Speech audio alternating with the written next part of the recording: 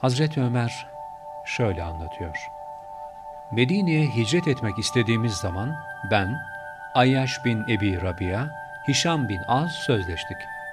Yarın sabah hangimiz Beni Gıfar kabilesinin Serif semtindeki su havuzu başında bulunmazsa, müşriklerin onu yakaladığı anlaşılacaktır.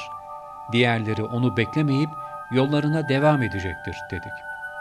Sabah oraya gittiğimizde Hişam bin As'ı orada göremeyince müşrikler tarafından hapsedildiğine hükmederek yolumuza devam ettik.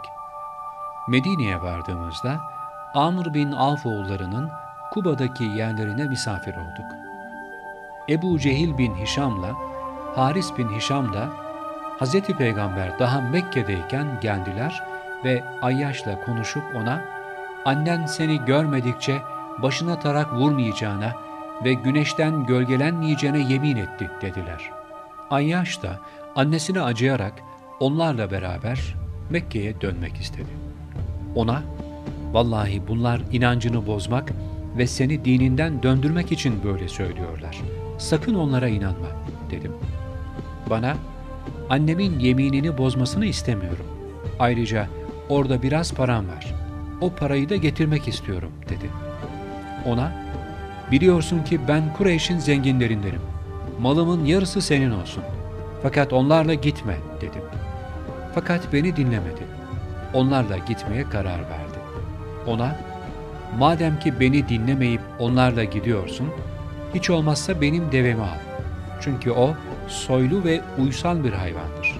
Ona bin, nerede onlardan şüphelenecek olursan kendini devenin sırtında tut, o seni kurtarır dedim. Ayyaş deveme binerek onlarla beraber yola çıktı. Yolda Ebu Cehil Ayyaş'a, ''Kardeşim, devem beni çok sarstı. Beni terkine alır mısın?'' dedi. Ayyaş da, ''Olur.'' diyerek devesini çöktürdü. Onlar da develerini çöktürüp Ayyaş'ın üzerine atıldılar. Bağlayarak Mekke'ye götürdüler ve dininden döndürdüler. Biz dininden döndürülen bir kimsenin tevbesi kabul olunmaz sanıyorduk. Herkes de bunu söylüyordu. Ta ki Resulullah Medine'ye geldiğinde şu ayetler ininceye kadar. De ki, ey kendileri aleyhinde aşırı giden kullarım! Allah'ın rahmetinden ümidinizi kesmeyiniz. Çünkü Allah bütün günahları bağışlar. Şüphesiz ki O çok bağışlayan, çok esirgeyendir. Onun için başınıza azap gelip çatmadan tevbeyle Rabbinize dönün. Ona teslim olun. Sonra yardım olunmazsınız. Haberiniz olmayarak ansızın azap gelmeden Rabbinizden size indirilene Kur'an'a uyun.